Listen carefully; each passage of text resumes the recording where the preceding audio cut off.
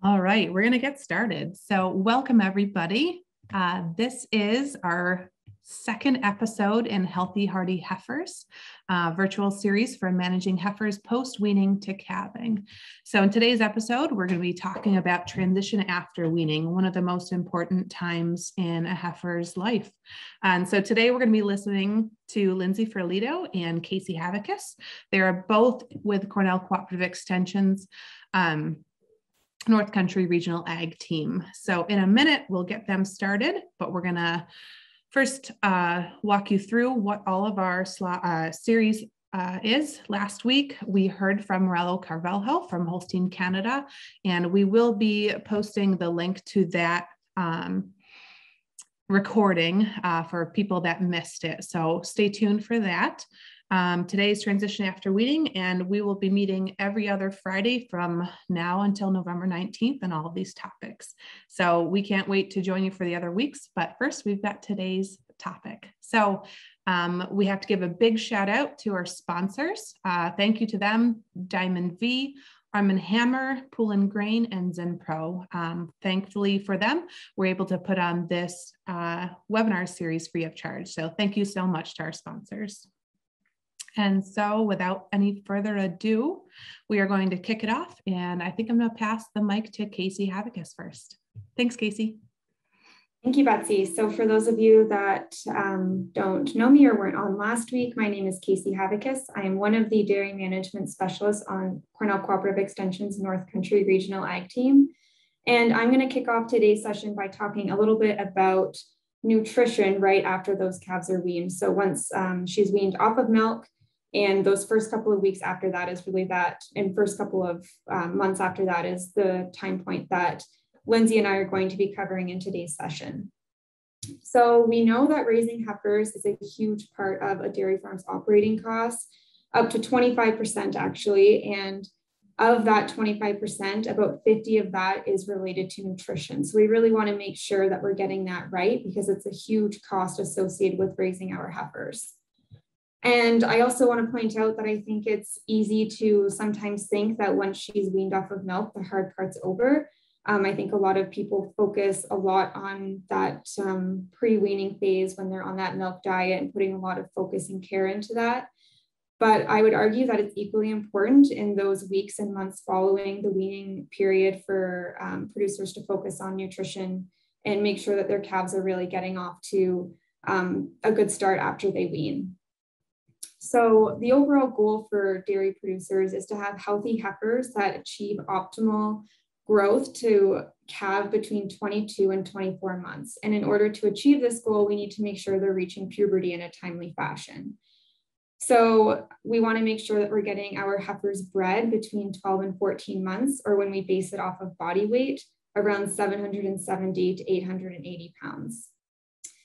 And one of the reasons that nutrition remains very important during this post weaning period is because mammary development occurs at a faster rate than any other organ during this time period.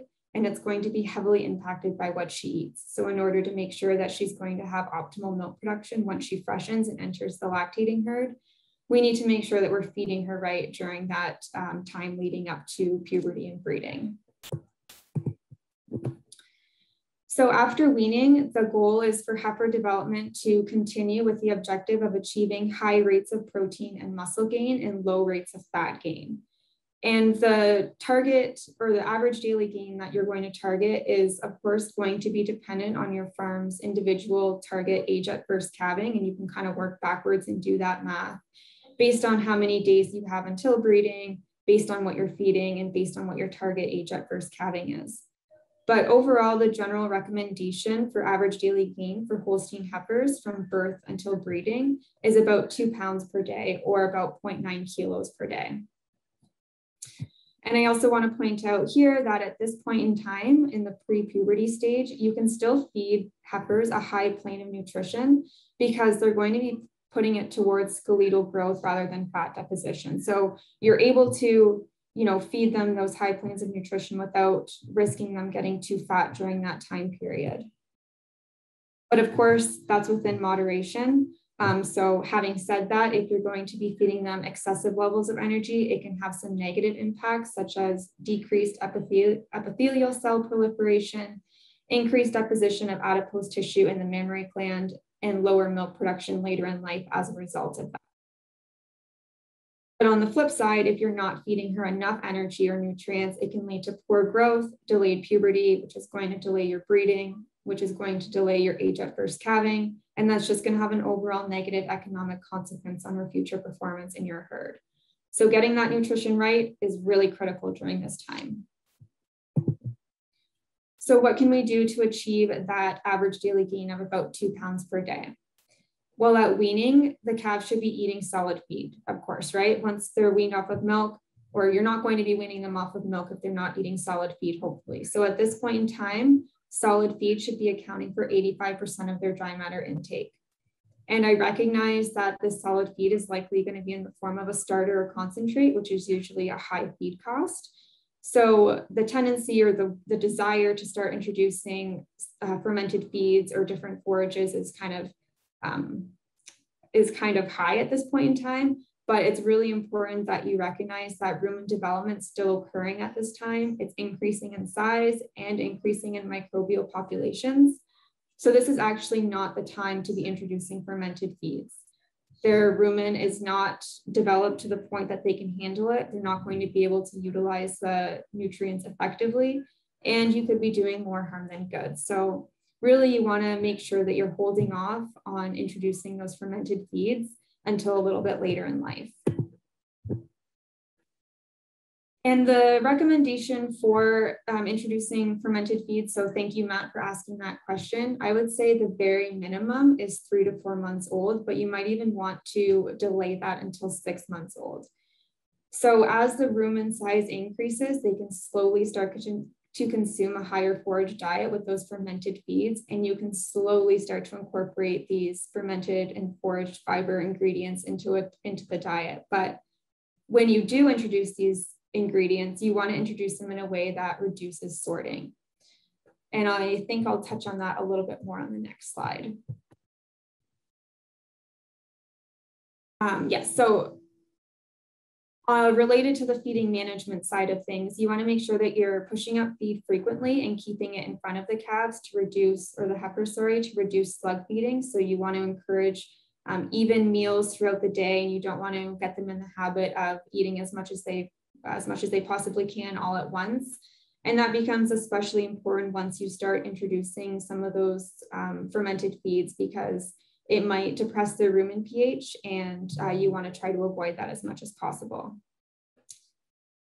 Um, and then also you, um, it's important to remember that it takes time for the rumen to adapt to change. So you want to try to go as slow as possible in order to maximize success and stress associated with these dietary changes. So uh, the recommendation is to introduce these different feed ingredients over a two to four week period and slowly start taking the concentrate out. So you don't want to do it all at once. Um, that's going to be another stress that's associated with this already stressful time. And it's going to promote better rumen health if you go slow and allow that calf to um, naturally adapt to those changes. And the other point I wanted to make um, related to sorting is that sorting is a learned behavior. So as soon as or as early as you can, try to um, avoid that behavior or eliminate that behavior, the better. The sooner that she learns how to sort, then she's just going to be at risk of carrying that behavior over as she transitions through life and as she transitions onto some of those more rapidly fermentable diets that she's going to be at increased risk of, of experiencing acidosis. So more related to some of the management um, that we can take on for these pre-puberty heifers. So we wanna make sure that we're weighing heifers and taking body condition score measurements often. So I recognize that weighing heifers isn't always that easy once they get older. I mean, when they're the size that they are in this picture, it's kind of easy to throw them on a scale, but um, I recognize and understand that it gets a little bit harder as they get bigger, it gets harder to handle them but taking body condition scores is a really easy thing that we can be doing and it's a really insightful number and value to be looking at so the recommendation is to be taking weights and body condition scores at birth weaning, pre-breeding, breeding, pregnancy confirmation, and calving. And Betsy's going to touch on this more next week in her presentation. Um, but I guess the, the last thing I want to say on this note is that it sounds like a lot of time points to be taking body condition scores, but it's really not that time consuming and it's not invasive. It's not going to bother the heifers at all. Um, and it, it's just really impactful information to have so that you can make changes to your program if needed.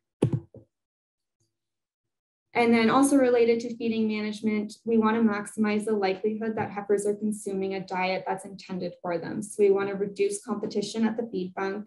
We want to limit the stocking density, ensure adequate bunk space, and again, reduce sorting so that um, they don't learn that behavior at an early phase of life. And I'm going to pass it over to Lindsay now. Lindsay is going to get into some of these um, housing and behavioral considerations that I just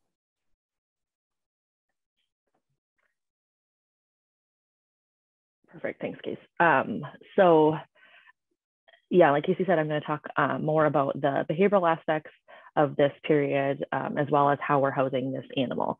Um, so just put up those pictures there just to get us thinking about what we're asking this animal um, now that she's weaned. Uh, like Casey said, we kind of think like, yay, we've got her weaned, she's good to go. Um, and then we move her into this new facility. Um, so Casey, do you want to start clicking on those? So one of the biggest things that's going to change is how we've grouped them. Uh, a lot of farms in New York are still housing calves individually, and now we're going to jump to a group setting. Uh, we're also going to see changes in ventilation. Uh, maybe we're going from a natural system to a mechanical system, or uh, a mechanical system to a natural system. We're also going to see changes in the type of housing. So it's just different whether she's coming from a hutch to a barn or from a certain type of barn to a different barn. We're also going to see changes potentially um, in the feed bunk design. So how she's accessed her feed before. Maybe she just had her own individual feeder. Now she has to go up and navigate um, multiple spaces at a feeder in a group setting. She's also potentially going to be exposed to a different type of bedding. So again, um, just another type of stimulus in the pen, another thing for her to adapt to. And then finally, um, obviously, like Casey just mentioned, we're going to have a change in our diet. So all these things are happening at the same time when we move these um, young calves into a new heifer barn. Um, and then, like Casey said, we just kind of expect them to go. And so it's not really surprising that on a lot of farms, we actually do see setbacks in that first or second um, transition heifer pen. And as we were putting these these slides together, I think it kind of is is another example of we talk a lot about joke around with producers a lot about how you know oh everyone forgets about heifers and they always you know they're always in the barn at the back and we kind of forget about them. But i think it, it is true kind of as an industry as a whole. If you go into literature and try to pull information if you look at calves we can you know get down to very specific details. If you look at lactating cows we get down to very specific details. And then when we start talking about heifers it's all oh give her enough space give her enough this make sure it's this. And it's very little um, scientific data on this group of animals. So I do think, yeah, as an industry, there's a lot we can learn about um, this group because as we learned from Marilla last week, every stage of her life is important and everything we do to her from birth on is going to impact her as an adult cow. So what more can we be doing to manage this transition better? So next slide, please. So just some of the behavioral considerations. Ideally, since we're doing such a huge change from um, weaning, getting her out of that calf barn into the heifer barn, we wanna make sure she's adjusted to weaning. So it's usually recommended to give her about a week from when we've um, started withholding milk to fully adjust um, to a new diet, make sure she's consuming enough, drinking enough water before we add an additional stressor to her. Uh, and like I mentioned, there's going to be impacts of new new grouping, so keep that in mind too. What are we asking of this calf? Is she going from an individual hutch to a group of 20 animals? Obviously, that's going to be a huge adjustment. She now has to navigate that pen. She has so social interactions that she's never had before. Um, and these are very social animals. So something just to consider when we're looking at even our calf barn design is how can we better house our calves to help them be more successful through this transition. And we are seeing a lot more data coming out now about the benefits of pair housed or group housed, um, but a lot of work on the pair housed because that's a little bit more feasible on most farms. Um, the benefits of having that early social interaction and how that then uh, creates a heifer that is a little bit more confident when she enters these group settings and she's more successful at uh, identifying where the feed is, where the water is, and navigating those social interactions. So to help with this, we want to try to keep the, that first post-wean group small. Um, so a lot of the a lot of the literature suggests six to 10 animals because we don't want to be taking uh, this calf from an individual setting and throwing her into a massive group right away. So let's start with um, smaller groups of six to, 10, six to 10 animals. Um, that also helps us in addition to reducing the social stress, kind of keeps them um, consistent in their body size. So it'll help limit some of that uh, competition at the feeder, like Casey was talking about. And we can feed them the dietary needs specific to that group. So we're not having ranges in that group of you know months in age. We're looking more like weeks of age. Um, next. So looking specifically at some housing consideration, um, ideally the first step would be that this these transition heifers are in a different barn than our milk calves. Um, for a few different reasons, that way um, we can focus on each group of animals in their own barn. It helps reduce um, transmission of pathogens and we can um, tailor our management to those specific animals.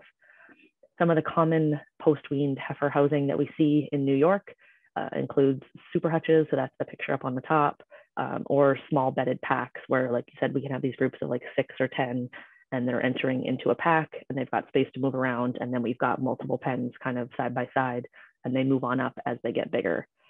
At this stage of age, freestalls are not recommended uh, for a few different reasons. Um, mainly, these girls just aren't going to know how to use them. Um, they're not going to be using them properly. It's going to be harder to maintain that bedding. They need a good amount of bedding. Um, these are small animals.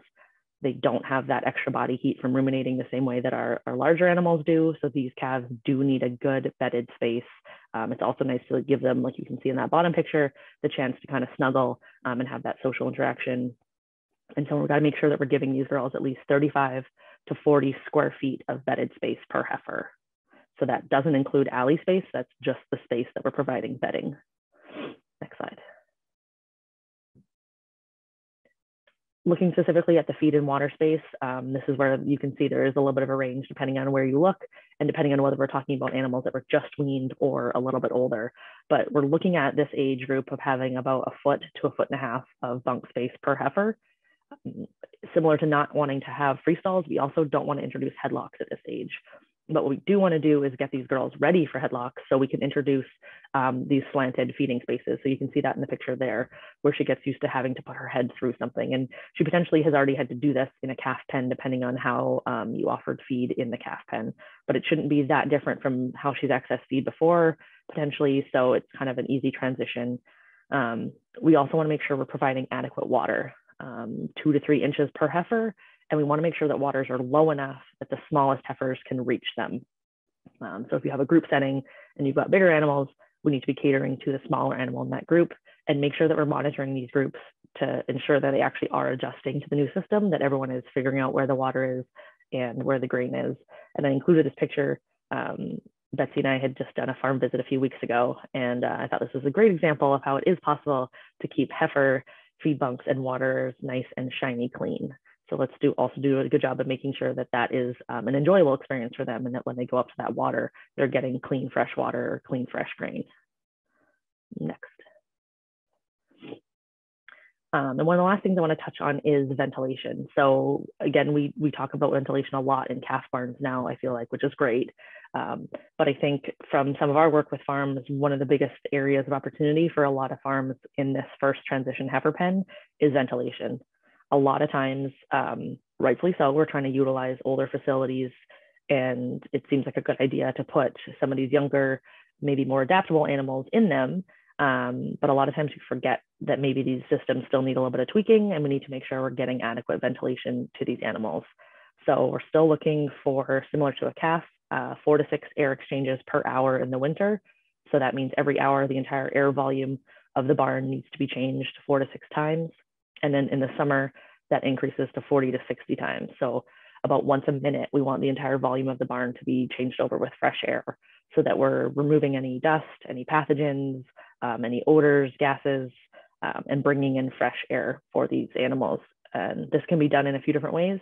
Uh, we've seen, uh, again, similar to calf barns, we've seen heifer barns that have tubes, positive pressure tubes, like you can see in this picture having uh, a natural ventilated system where you've got higher sidewall curtains and you're relying on some natural breezes. And then we can also see mechanical ventilation. So either a tunnel ventilated or a cross ventilated situation.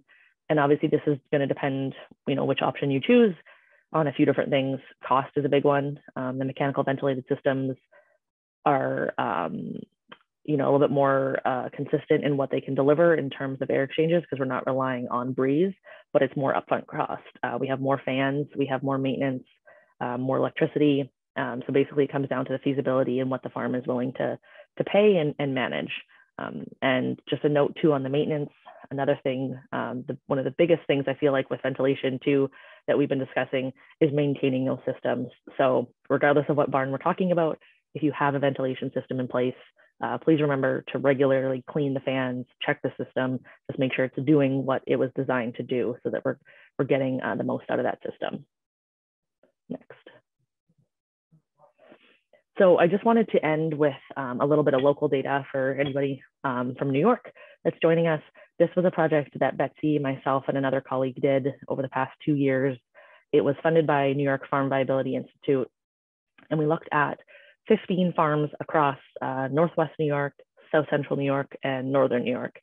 And it was for a project looking at um, assessing different parts of a dairy facility and trying to identify areas of opportunity and areas of excellence and providing producers with feedback on how they were doing and kind of give them a benchmark based on these other 15, 15 farms. Um, it was pretty representative of New York herds.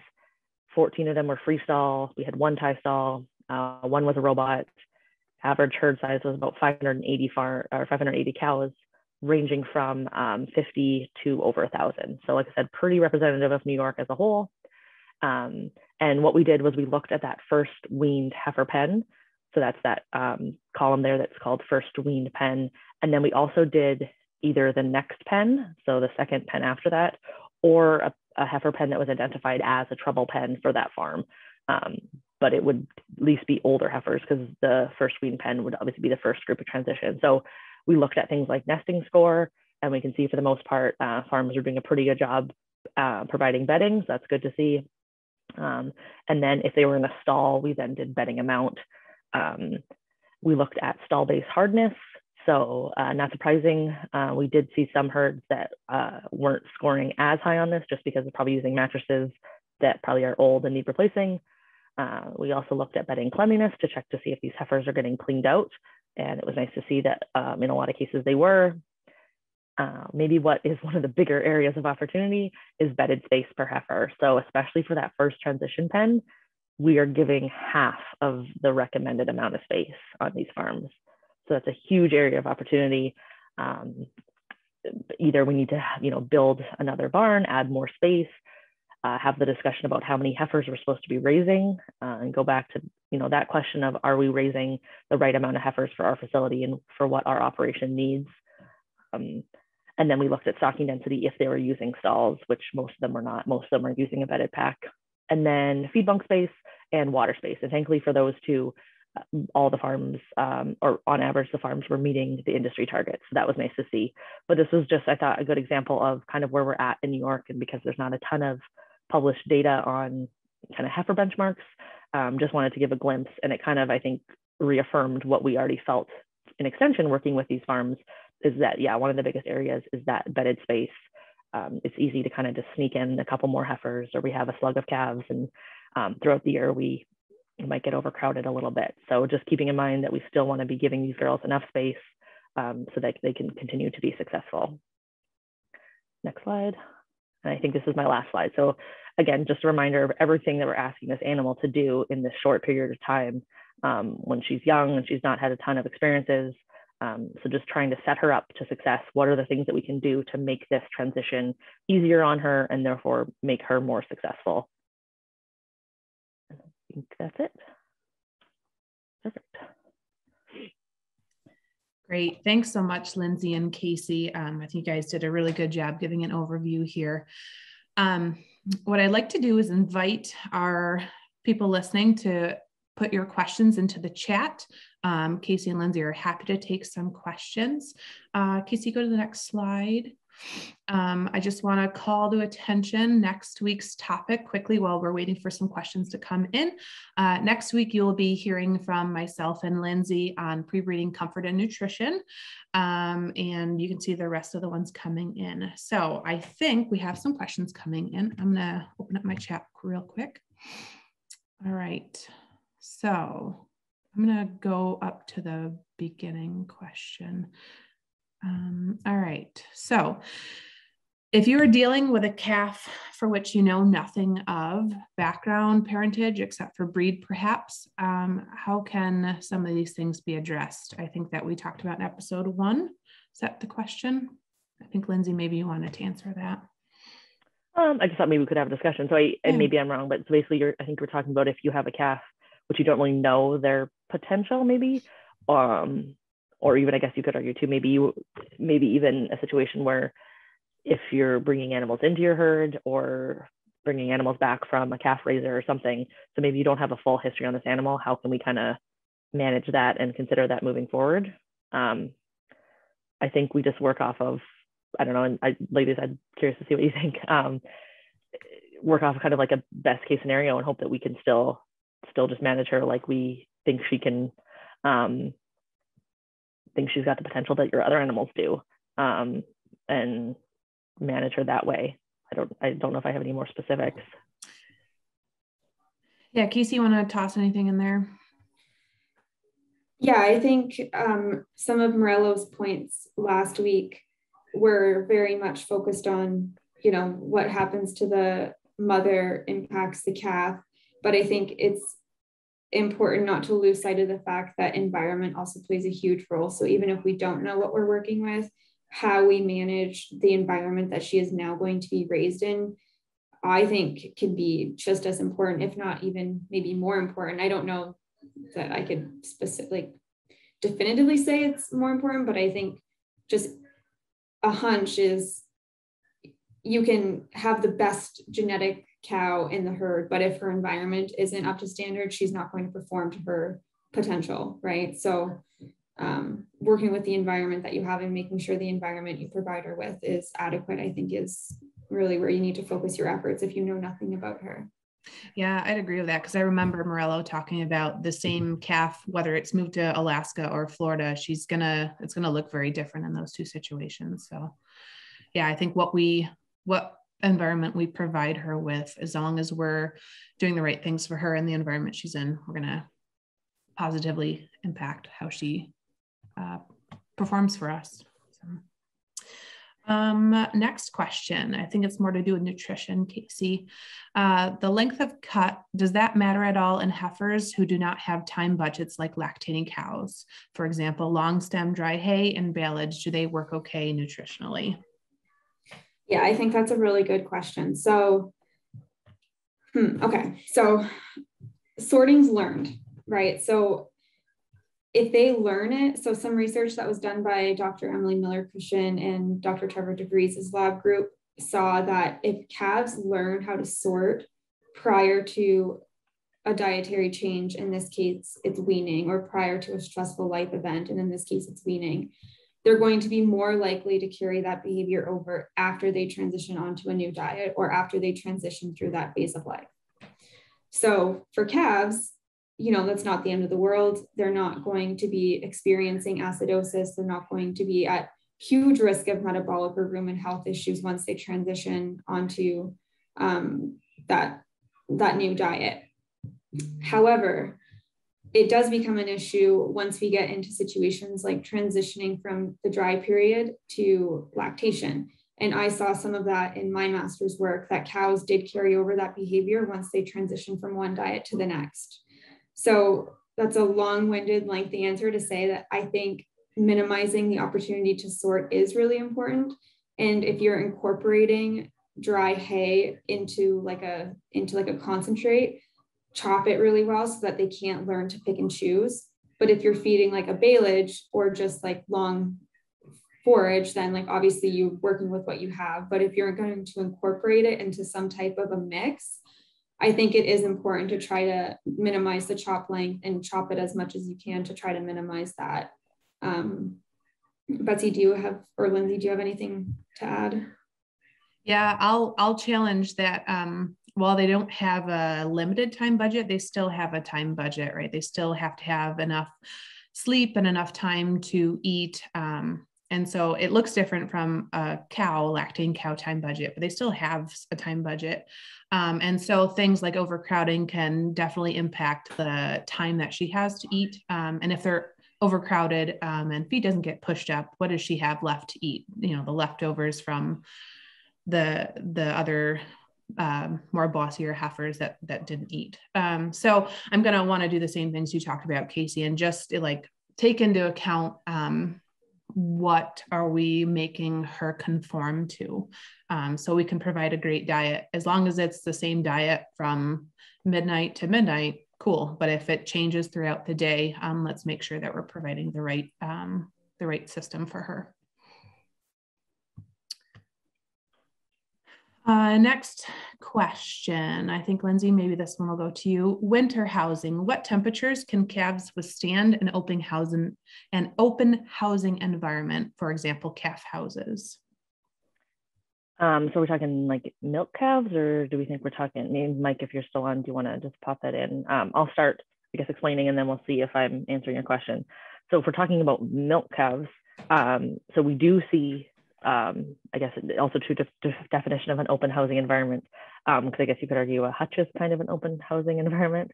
Um, wean calves, oh Jersey have heifers, oh jerseys. Um, um, so wean calves. So um, you know, we talk about calves have like milk calves, like when they're first born, having a much different thermal neutral zone um, and really not doing well below temperatures of 50. Um, once she's, you know, one to two months, in case you correct me if I'm wrong, um, once she's past that like two months of age, she's weaned, um, her thermal neutral zone changes quite a bit and she can handle temperatures down to freezing. Um, that being said, we don't want everything that we're putting into her to go into maintaining um, or just maintaining her, you know, keeping her warm and maintaining her. We want her to be growing. So if we are putting these animals outside in an open shelter, which we do see um, up here in, in Northern New York when it gets pretty chilly, um, we do see weaned heifers outside we do need to offer um, adequate bedding that is clean and dry. Um, she needs to have shelter. Um, so she'd have to have a three-sided shelter at least that would provide her uh, shelter from the winds. We want to make sure that it's blocking her from our prevailing winter winds, uh, that we're providing her um, enough nutrition to maintain that and access to clean water that's not freezing. So ladies, if you disagree, but I'd say we, we definitely do see it and it can be successful, but it's the same with the calves, like being outside. You can't just put a Jersey calf outside in a hutch and, and she's going to be okay. We have to be giving adequate bedding. Um, if we're talking calves, you know, jackets, extra feedings of milk. So basically the same idea is carried over to heifers, clean, dry environment, out of the wind, enough space, um, you know, group housing so she can snuggle and then adequate nutrition um, for ma maintenance and growth. So yeah, I guess my answer is very cold. very cold. I think the key to that is the adequate dry bedding. We forget about these heifers a lot of times, and if they don't have that, we need to feed a lot more energy to those calves in order to keep them growing in the wintertime. That doesn't always happen. So yeah, I like your answer, Lindsay. Um, next question I see is, uh, what's the proper age at uh, age to transition to stalls after a pack, especially in the winter? Um, most, so when you look at um, like most recommendations, they want her to be at least 400 pounds. So give or take at least six months old. Um, so, you know, nothing before that. Um, and actually, if you look at like University of Wisconsin and stuff that puts out a lot of the free stall dimension recommendations, they don't offer anything for less than that. Um, so looking at it, at least 400 pounds or six months old, um, but maybe a little bit older if you really wanted her to um, um, to be yeah to just be a bit bigger. And again, you know, a lot of times we see those heifers being put on a mattress with no bedding. She will not be warm enough at six months old on a mattress with no bedding in the winter. Um, so I think just that recognition too of it, it's hard to keep a lot of bedding on most mattresses. Um, so uh, we got to make sure that if we're putting those younger heifers into a free stall system, that we are managing them appropriately and giving them adequate bedding and keeping those stalls clean and dry um, sand. Yeah, sand is um, Matt. I think Gary, were you from Central New York? Um, yeah, sand can work. Uh, again, assuming we're we're managing it, so we do get sand freezing up here in northern New York in the winter. So if if there is enough moisture and it's on and you know an outside row of the barn, and your sand is freezing, then no, that's not going to be keeping, you know, a little six month heifer really warm. Um, but we can do things to manage that, uh, raking the sand, um, you know, um, making sure those heifers are appropriately sized so we're not getting really messy stalls and adding extra moisture to those stalls, which could then add to freezing. Um, but we do see heifers in sand at that age. Um, it just takes that recognition that we got to make sure they're, you know, doing okay in the winter. Great. Well, I think that answers all the questions in the chat. Um, so we're going to wrap up. Um, if you do have questions, feel free to uh, reach out to any one of us, um, and we will see you next week for pre-breeding comfort and nutrition.